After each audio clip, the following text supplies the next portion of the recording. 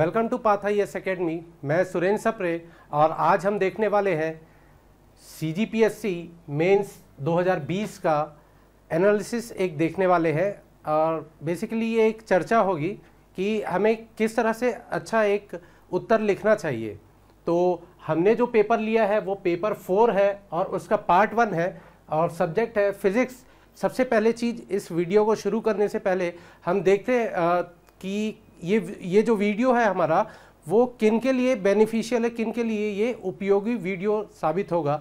तो जैसे कि जिन्होंने अभी रिसेंटली मेंस जो दिया है, जिन लोगों ने तो उनके लिए ये ऐसा उपयोगी साबित होगा कि यहाँ से हम देख पाएँगे कि किस तरह से हमें आंसर्स को लिखना था और हमें आगे की अपनी रणनीति जो हमारा तीसरा फेस है most and important last and most important phase interview उसके लिए हम अपनी तैयारी कैसे uh, आगे बढ़ाएँ उस तैयारी को। और दूसरा जिन्होंने प्री दिया प्री देने के बाद रिज़ल्ट जो आया और रिज़ल्ट में उस लिस्ट में उनका नाम नहीं था कहने का मतलब कि प्री क्वालिफाइड नहीं कर पाए और तुरंत उसके बाद तुरंत नेक्स्ट जो ईयर आने वाला साल है, उसके लिए वो अपनी तैयारी में जुट गए।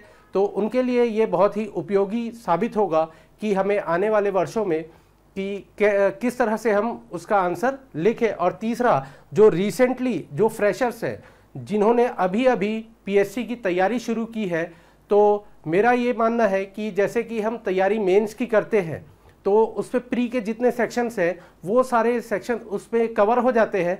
तो यहाँ से एक आंसर राइटिंग की भी मतलब आपकी तैयारी होगी। तो चलिए शुरू करते हैं। फिजिक्स का तो इस साल पहले देखते हैं कि कितने मार्क्स के और कितने क्वेश्चंस आए हैं फिजिक्स के।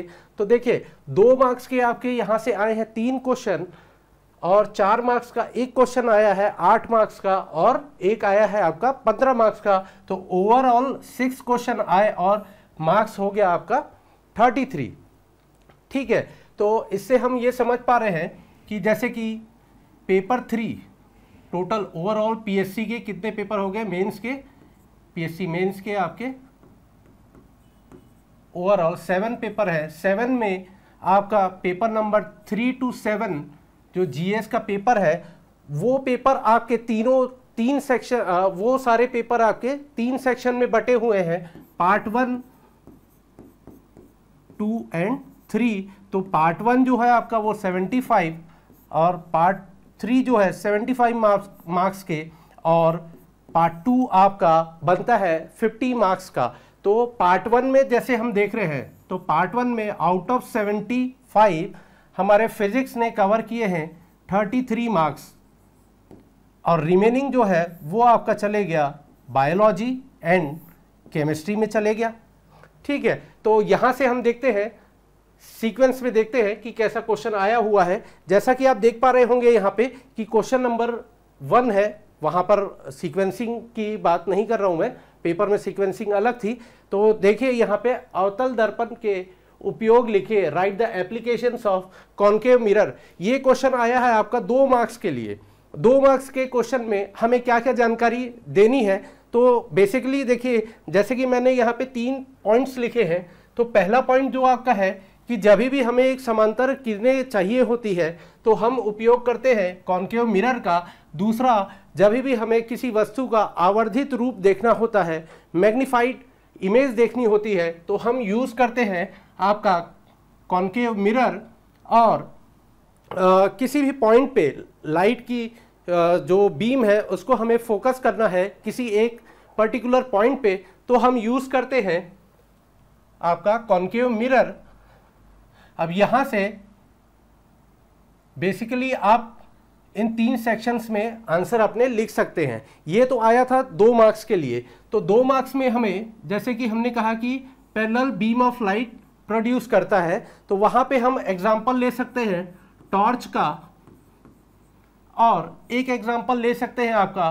गाड़ियों की जो हेडलाइट होती है हेडलैम्प ऑफ़ व्हीकल्स ये एक हम यहाँ से ले सकते हैं। दो एग्ज़ाम्पल हो गए यहाँ। अब दो मार्क्स का है तो कम से कम जैसे तीन सेक्शन में बटा है तो कम से कम पाँच से छह छोटे छोटे एग्जाम्पल्स हमको उनके एप्लीकेशंस लिखने हैं। अब देखिए जैसे सेकंड पॉइंट है आवर्धित वस्तु आ, किसी भी वस्तु का आवर्धित प्रतिबिंब मुझे देखना है। तो क्या करना है? यूज़ करते हम उसकी प्रॉपर्टी की कॉन्केव मिरर की प्रॉपर्टी है कि वो बड़ा दिखाता है, किसी भी वस्तु को। तो यहाँ पे हम जैसे देखते हैं तो ये आता है एक एग्जांपल कि शेविंग मिरर में यूज़ होता है। शेविंग मिरर में यूज़ होता है। और एग्जांपल ले सकते हैं, जैसे मेकअप वाले जो मिरर होते हैं।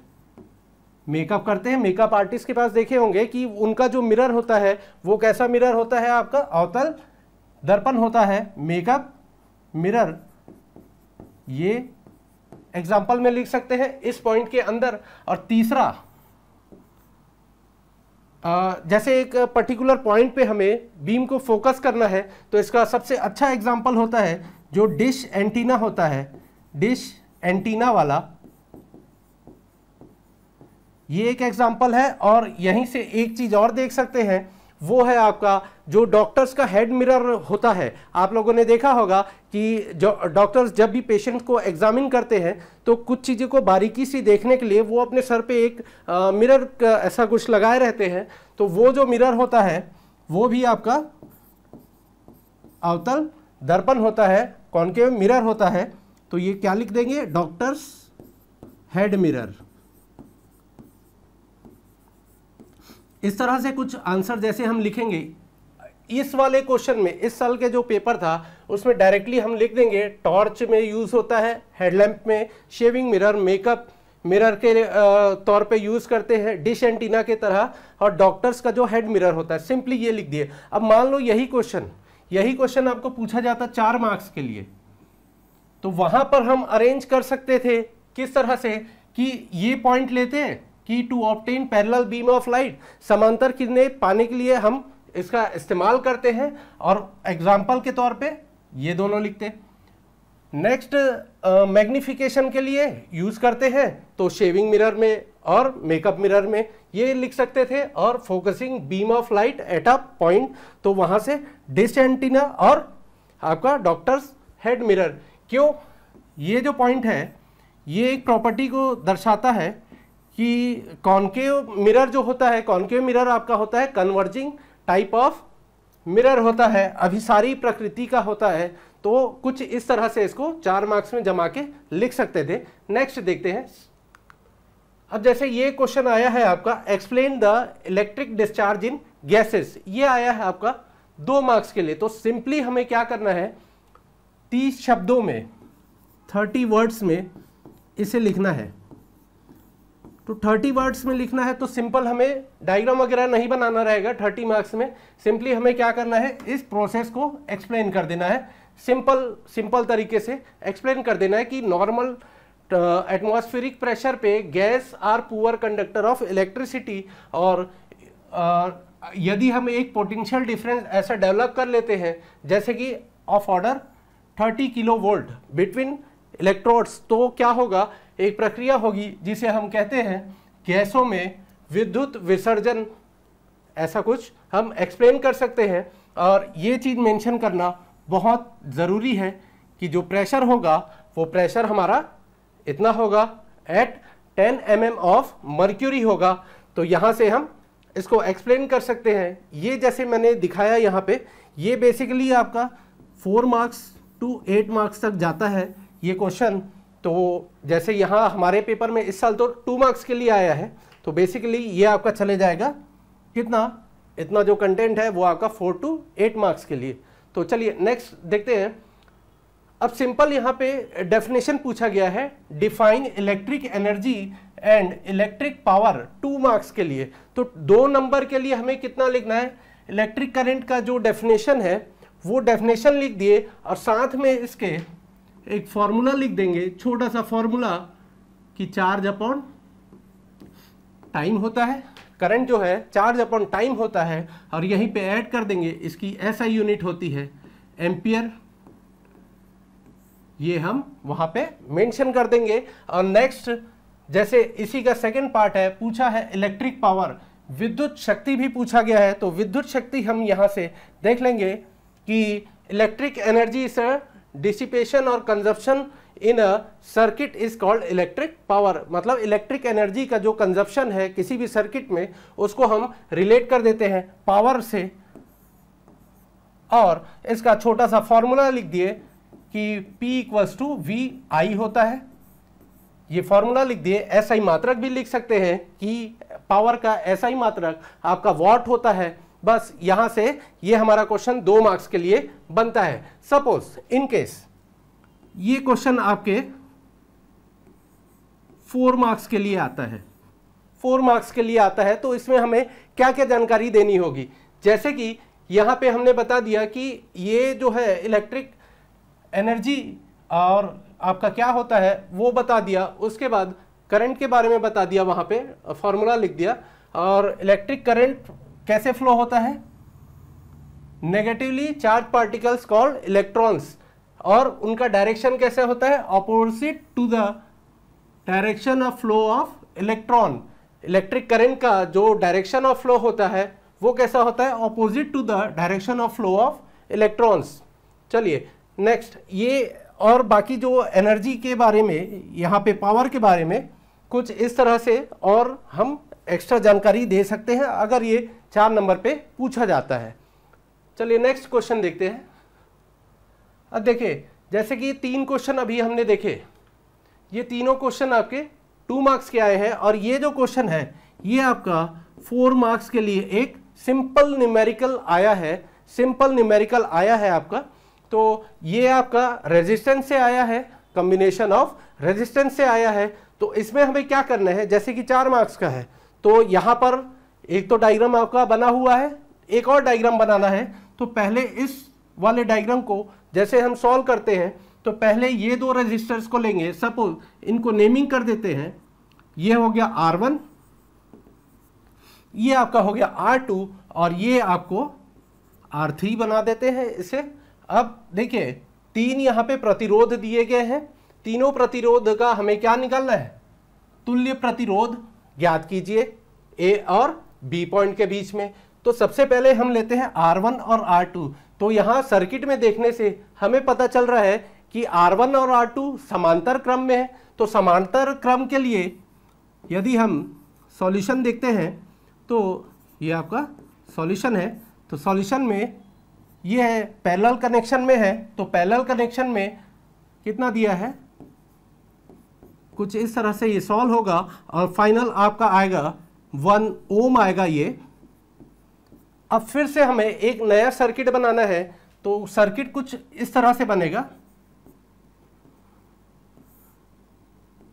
ये हमारा वन ओम का एक रजिस्टर बन गया, और एक दिया हुआ है फाइव ओम का, और एक पॉइंट दिया है ए और पी के बीच में। यहाँ पे देखना है तो ये हमारा क्या हो गया? आरपी हो गया, जिसकी वैल्यू कितनी आई है? वन ओम, और ये हमारा हो गया आर थ्री इसकी वैल्यू कितनी दी गई है? ये आपकी पाँच ओम। अब यहाँ से सर्किट में, नए सर्किट से हमें ये दिख रहा है कि जो आरपी और आर थ्री है they are in series connection वो कैसे है? श्रेणी क्रम में है। तो श्रेणी क्रम का जो सॉल्यूशन होता है तो वो कैसा होगा?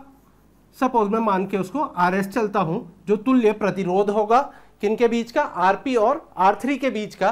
तो यहाँ से मैं वन प्लस फाइव कर दूँगा, और ये हो जाएगा मेरा सिक्स ओम का हो जाएगा। ये हमारा फाइनल आंसर है और कुछ इस तरह से इसको ऐसे बॉक्स में करके ये हो गया हमारा फाइनल आंसर यहाँ से इसको नोट कर सकते हैं।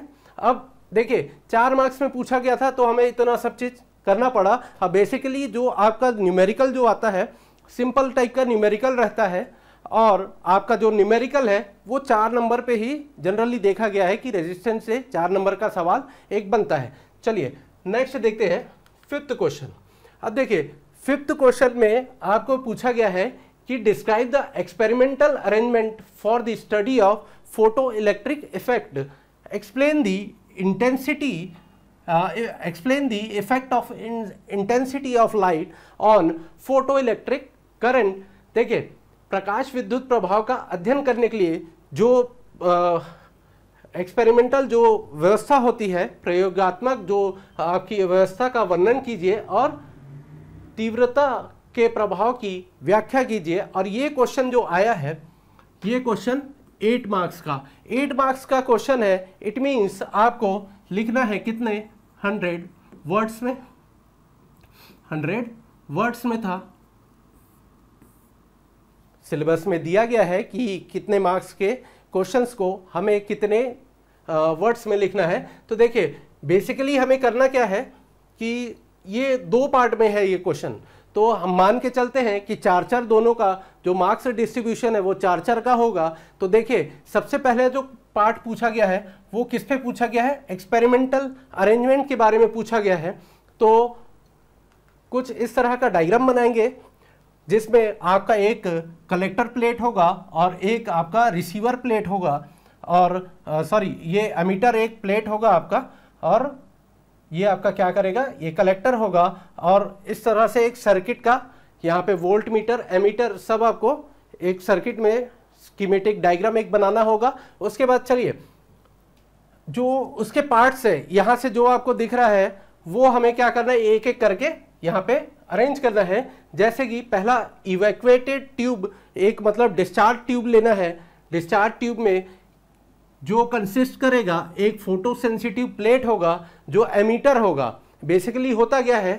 जो सनलाइट है वो उस प्लेट पे ऐसे आके आ, मतलब उस प्लेट पे एमिट होगी वहाँ पे इंसिडेंट होगी और वहाँ से एमिटर इलेक्ट्रॉन्स निकलेंगे। ठीक है, ये देखिए, और नेक्स्ट जो है, वो एक कलेक्टर प्लेट होगी मेटल की एक कलेक्टर प्लेट होगी। और वो सारे कहाँ पे होंगे? ट्यूब के अंदर। ये कुछ ऐसा अरेंजमेंट है, जैसा हमने डायग्राम में देखा। तो ये आपकी लाइट यहाँ पे आके एमिट हो रही है सॉरी यहाँ पे इंसिडेंट हो रही है, और इस प्लेट से आपका फ़ोटो सेंसिटिव प्लेट है ये। फ़ोटो मीन्स लाइट तो यहाँ से देखिए, फिर सेकंड जो पार्ट है सेकंड सेकंड जो इसका अरेंजमेंट का जो टर्म है, वो है आपका फ़ोटो सेंसिटिव प्लेट जैसा कि हमने यहाँ पे बताया तो ये कैसे है? एमीटर प्लेट है। और ये क्या करता है? जितनी सनलाइट है उसको एब्जॉर्ब करता है और क्या करता है? इलेक्ट्रॉन्स एमिट करता है। ये बताएँगे। उसके बाद मेटल प्लेट है तो मेटल प्लेट कैसा है? मेटल प्लेट हमारा एक कलेक्टर प्लेट है। मतलब जितने इलेक्ट्रॉन्स यहाँ से निकलेंगे, कहाँ से? फ़ोटो सेंसिटिव प्लेट से। बेसिकली ये होता है आपका नेगेटिव साइड ऑफ़ प्लेट होता है। और ये आपका पॉजिटिव साइड ऑफ़ प्लेट होता है कैथोड एनोड वाला। अब देखिए यहाँ पे मेटल प्लेट है। मेटल प्लेट क्या कर रहा है? कलेक्टर कलेक्शन का काम है उसका। पूरे अरेंजमेंट जितने हैं सारे पार्ट्स को हमें डिस्क्राइब uh, करना है क्योंकि ये क्वेश्चन हमारा कितना है? आठ मार्क्स का और साथ में बनाना है हमें डायग्राम बनाना है। ठीक है? अब देखिए ये मेटल प्लेट है। मेटल प्लेट का काम यहाँ पे हमने बता दिया। उसके बाद कि एक मोनोक्रोमेटिक लाइट हमें ज़रूरत होगी, जिसका वेवलेंथ कैसा होगा, कम होगा और एनर्जी कैसी होगी हाई और फ्रीक्वेंसी भी क्या होगी हाई फ्रीक्वेंसी वेवलेंथ कम रहेगा और एनर्जी कैसी होगी high and frequency also high हम ये इसको यहाँ से समझ सकते हैं E equals to H nu और न्यू क्या होता है आपका एच सी अपॉन लेमडा अगर वेवलेंथ कम है तो ज़ाहिर सी बात है कि एनर्जी ज़्यादा होगी और फ्रीक्वेंसी को भी रिलेट कर सकते हैं। सी बाय लेमडा और ये आपका हो जाएगा न्यू तो न्यू ये हो गया फ्रीक्वेंसी और ये हो गया आपका वेवलेंथ तो दोनों एक दूसरे के इन्वर्सली हैं। इट मीन्स वेवलेंथ कम होगा तो फ्रीक्वेंसी ऑब्वियस है कि फ्रीक्वेंसी हमारी बढ़ जाएगी। और एक आपका बैटरी सोर्स होगा। जैसा कि आप यहाँ पे देख रहे हैं बैटरी एक सोर्स होगा आपका। और क्या करेगा? इलेक्ट्रॉन्स पार्टिकल को, उनको त्वरन त्वरित करेगा उनको। जितने इलेक्ट्रॉन्स निकले हैं और एक potential through a potential difference potential difference यहाँ से जनरेट होगा। अब यहाँ पे एक वोल्ट मीटर लगा हुआ है। वोल्ट मीटर क्या करेगा? जो potential difference between ammeter and the collector plate के बीच में जो फ़ोटो इलेक्ट्रिक करंट फ्लो होने के कारण जो पोटेंशियल डिफरेंस डेवलप होगा, उसको क्या करेगा? मेजर करेगा। और जो करंट है हमारा वो value of photo electric current is measured by ammeter ammeter क्या करेगा? जो फ़ोटो इलेक्ट्रिक करंट पैदा हुआ है, उसको क्या करेगा? मेजर करेगा। ठीक है? इतना जानकारी हमें आठ नंबर के सवाल में देना है। साथ में ये डायग्राम बनाना है। और जैसा कि यहाँ देख पा रहे होंगे कि ये जो क्वेश्चन है हमारा दो पार्ट में है। सेकेंड पार्ट क्या है? Explain the effect of intensity of light on photo electric current intensity of light मतलब तीव्रता, जो प्रकाश की, जो आपतित किरण की आपतित प्रकाश की जो तीव्रता है, उससे और करंट में क्या मतलब चेंजेस आएँगे, प्रभाव क्या होगा? तो देखिए intensity of light on a photo electric current एक ऐसा हमें बनाना है उसके बाद बताना है कि जो number of photon incident per unit time per unit area increase होता है तो क्या होगा आपका? जो करंट है, वो ऑटोमेटिक करंट इंक्रीज होगा। दोनों एक दूसरे के क्या होते हैं? डायरेक्टली प्रोपोर्शनल होते हैं। ठीक है? तो यहाँ से इस चीज़ को ऐड करना है। तो ये आपका बनता है यहाँ से आठ नंबर का सवाल। यदि अगर ये सवाल जो है ये सवाल आपका सिर्फ़ पहला वाला पोर्शन पूछा रहता। तो ये पोर्शन आपका बनता चार मार्क्स का और वहाँ पे सिंपली आपको ये अरेंजमेंट दिखाना होता और अलग से जैसे ये पार्ट को पूछता तो यहाँ पर बेसिकली इस पार्ट को अकेले नहीं पूछता, साथ में और भी इफेक्ट्स हैं। आप देखेंगे जैसे कि फ़ोटो इलेक्ट्रिक करंट के और भी चीज़ों में, जैसे मैक्सिमम काइनेटिक एनर्जी पे या थ्रेशोल्ड काइनेटिक एनर्जी बोल दें, उस पर क्या इफ़ेक्ट होता है? ये भी एक क्वेश्चन बनता है। तो ये भी हम वहाँ से प्रिपेयर कर सकते हैं। तो नेक्स्ट देखते हैं कि अब ये जो है, ये क्वेश्चन जो आया है सोलर सेल के बारे में बेसिकली इसमें आप देख पा रहे होंगे कि आपको पूछा है, चार पार्ट में पूछा गया है। सबसे पहले तो पूछा है कि what is a solar cell ठीक है। नेक्स्ट इसने पूछा है कि describe the construction and working of PN junction solar cell PN junction solar cell का पूरा कंस्ट्रक्शन एंड वर्किंग पूछा है। और write the name of material use to prepare solar cell solar cell बनाने के लिए जो मटेरियल इस्तेमाल किया जाता है, उसका नाम लिखे सिंपल है। और what are the uses of solar cell अब बेसिकली आप देख पा रहे होंगे, ये जो क्वेश्चन है, असल में बनना चाहिए आठ से दस मार्क्स का, लेकिन दस मार्क्स का पार्ट वन से तो आता नहीं है सवाल। जो दस मार्क्स का है, वो पार्ट टू से आता है आपका। तो ये पंद्रह नंबर, आठ नंबर अगर सवाल था, ये बन गया आपका पंद्रह मार्क्स का।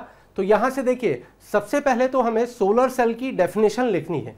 चारों पार्ट को हमें सॉल्व करना है। तो मेजर जो पोर्शन है, वो आपका पार्ट टू है। ऑलमोस्ट आपका सिक्सटी परसेंट यहाँ से मार्क्स जो है, इस पे रहेगा। 60 परसेंट मार्क आपका कंस्ट्रक्शन एंड वर्किंग पे रहेगा। तो हमें कुछ उस तरह से 15 नंबर के सवाल को डिस्क्राइब करना है। 175 वर्ड्स में रहता है। 175 वर्ड्स में हमें डिस्क्राइब करना होता है। जो 15 नंबर का सवाल होता है। अब देखिए सोलर सेल के बारे में जो उसकी डेफिनेशन है कि ये क्या है बेसिकली एक पीएन जंक्शन होता है, जिसमें जब क्या होता है ईएमएफ प्रोड्यूस करता है, कब? जब सोलर रेडिएशन उसके ऊपर फॉल होता है। ठीक है? अब कंस्ट्रक्शन एंड वर्किंग में हमें सबसे पहले कंस्ट्रक्शन एंड वर्किंग में, जैसे मैंने ये लिख दिया है, एक ही स्लाइड में नहीं आ पाया तो आपको एक ये डायग्राम भी बनाना होगा। अब पंद्रह मार्क्स में पूछा है तो आठ में भी पूछता तो भी आपको डायग्राम बनाना होता, लेकिन यहाँ पे दो डायग्राम जैसे देख पा रहे होंगे। एक्सप्लेन करता हूँ वो कैसे होगा। सबसे पहले तो आपको ये डायग्राम बनाना है। इस डायग्राम को, उसके बाद उसकी जो वर्किंग है, वो पूरा लिखना है कि generation of EMF by a solar cell कब होता है, जब लाइट फॉल होती है, और बेसिकली वहाँ पे तीन प्रोसेसेस होते हैं। एक तो होता है जनरेशन सेपरेशन एंड कलेक्शन अब जनरेशन क्या? जैसे ही लाइट आपकी फॉल होती है तो होल और इलेक्ट्रॉन के जो पेयर्स है, वो क्या होते हैं आपके? जनरेट होते हैं। और कैसा होता है? ये यहाँ पे थोड़ा सा मिस्टेक है। ये कुछ ऐसा है एच न्यू जैसा हमने वहाँ पे देखा था इक्वल्स टू एच न्यू ऐसा वाला। और ये बेसिकली क्या होता है? ये बैंड गैप एनर्जी है। क्या है ये? बैंड गैप एनर्जी ये कंडीशन होती है। कब जनरेशन होगा? इलेक्ट्रॉन्स और होल का। जब ये कंडीशन फुलफिल होगी, ये वाली कंडीशन जब फुलफिल होगी और जंक्शन के समीप में होगी, यानी कि जंक्शन के जस्ट पास में जब ये कंडीशन डेवलप होगी, तब जनरेशन होगा इलेक्ट्रॉन और होल के पेयर का। अब देखिए सेपरेशन सेकेंड स्टेज हमारा क्या है? Separation the separation of electrons and hole due to क्या? इलेक्ट्रिक फ़ील्ड के कारण जो डिप्लीशन लेयर में डिप्लीशन लेयर आप यहाँ से समझ पाएँगे, ये है हमारा डिप्लीशन रीजन और डिप्लीशन लेयर कि यहाँ पर क्या हो रहा है? यहाँ पर आपका कहा गया? ये आपका डिप्लीशन रीजन में सेपरेशन ऑफ़ इलेक्ट्रॉन और होल इलेक्ट्रॉन एक तरफ़ होता है और आपका होल दोनों का सेपरेशन होता है। अब ये एन क्या चला जाता है? एन साइड में इलेक्ट्रॉन चले जाता है और पी साइड में आपका पी साइड में आपका होल चले जाता है। यही है बेसिक प्रोसेस ऑफ़ सेपरेशन का ये आपका कंडीशन है। अब नेक्स्ट जो है वो आपका क्या है? कलेक्शन अब इलेक्ट्रॉन्स का कलेक्शन तो N side are collected by the जो इलेक्ट्रॉन, जो एन साइड में डेवलप हो रहे हैं, वो सब कहाँ चले जाते हैं? पी साइड में और बैक साइड में कलेक्ट हो जाते हैं। और ये फ्रंट साइड में जो इलेक्ट्रॉन्स है, एन के फ्रंट साइड में वो कलेक्ट हो जाएँगे। और यहाँ से पी साइड का जो बैक कॉन्टेक्ट है, वहाँ पे कलेक्टेड हो जाएँगे। तो ये पूरा फिनोमिना, ये वर्किंग और कंस्ट्रक्शन हो गया और साथ में हो गया आपका डायग्राम, जो आपका ऑलमोस्ट 60 परसेंट पोर्शन ऑफ़ इस क्वेश्चन का 60 परसेंट है। नेक्स्ट देखिए।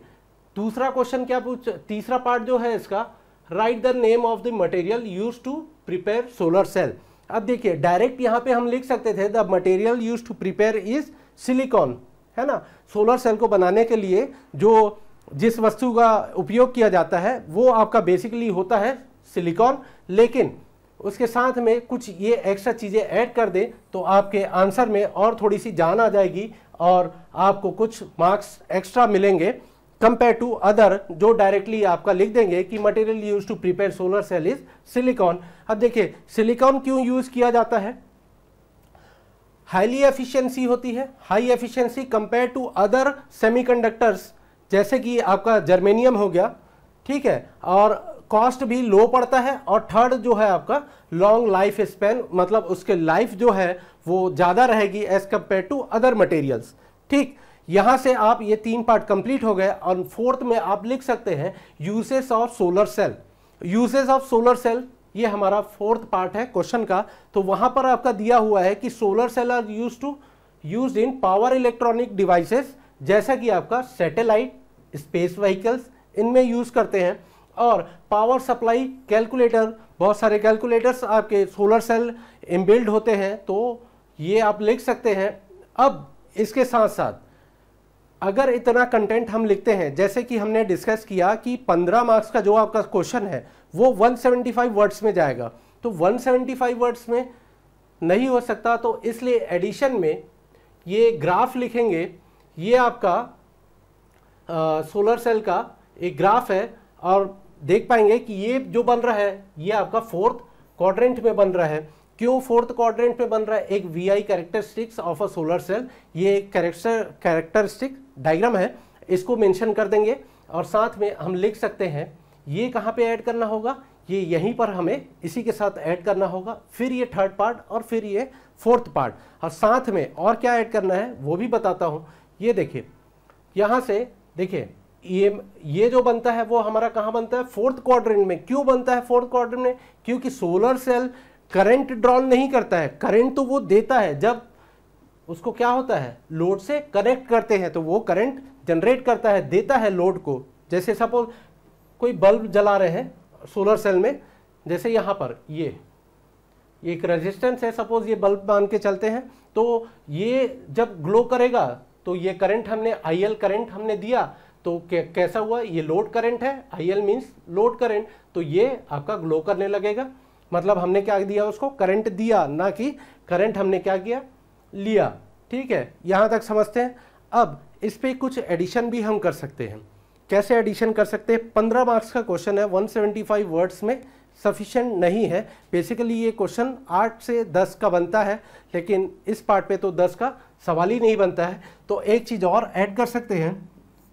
Fill factor of a solar cell fill factor basically ये होता है आपका फिल फैक्टर जो होता है आपका एफिशिएंसी होता है सोलर सेल का एफिशिएंसी होता है तो इसका जो फॉर्मूला है, वो एक फॉर्मूला लिख देंगे कि हमने दिया क्या? मतलब आउटपुट पावर आउटपुट ले रहे हैं पावर के फॉर्म में इलेक्ट्रिकल पावर के फॉर्म में आउटपुट पावर ले रहे हैं और इनपुट पावर हम दे रहे हैं यहाँ पे वी आई के फॉर्म में और वी आई हमारा कैसा होगा? Open circuit voltage into short circuit current के फॉर्म में दे रहे हैं। ये हमारा क्या है? इनपुट पावर है। ये हमारा इनपुट है। इनपुट पावर है। ये एक एफिशिएंसी हम वहाँ दर्शा सकते हैं और साथ में ये लिख सकते हैं कि एक आदर्श सौर सेल के लिए for an ideal solar cell the fill factor should be always smaller than एक से कम होता है, हमेशा स्मॉलर देन वन होता है और इसकी रेंज होती है।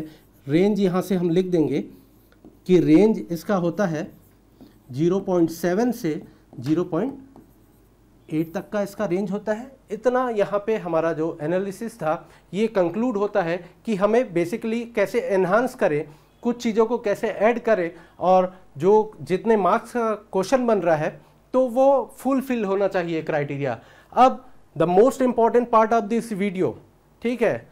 इस वीडियो में आप देख पाएँगे कि हमारे द्वारा जो चलाई गई पाथ आई एस अकेडमी के द्वारा, जो टेस्ट सीरीज़ चलाई गई थी, उससे कितने क्वेश्चंस को रिलेट होते हैं जो हमारे पीएससी में आए हैं इस साल के?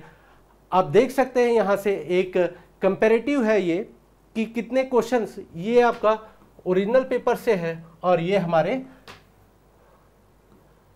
पाथ आईएएस एकेडमी के आपके टेस्ट सीरीज़ से directly the questions are taken from the